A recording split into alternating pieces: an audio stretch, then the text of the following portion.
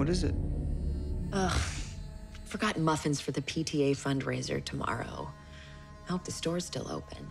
I'll drive you. It's not a problem. It is for me. I know you're taking care of both of us, but you gotta let me have a turn.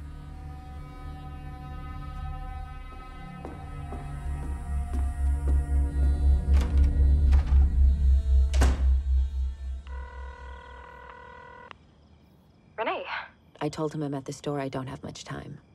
What'd you find out? he got back in touch after you and I spoke. I think it was just a simple misunderstanding. What makes you say that?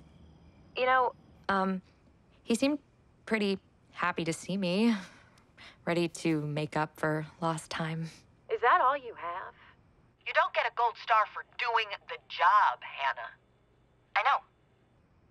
I just know he'd been distant and you wanted to hear if anything. And now I know.